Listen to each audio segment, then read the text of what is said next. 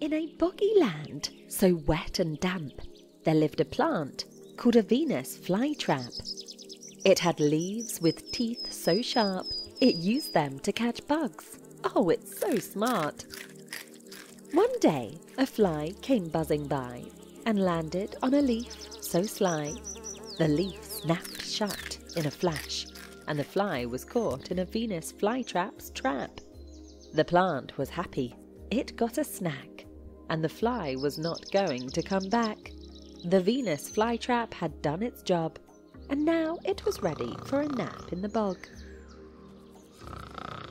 So, if you're ever walking in a boggy land, be sure to watch where you stand, for there may be a Venus flytrap near, just waiting to catch its next bug, so never fear.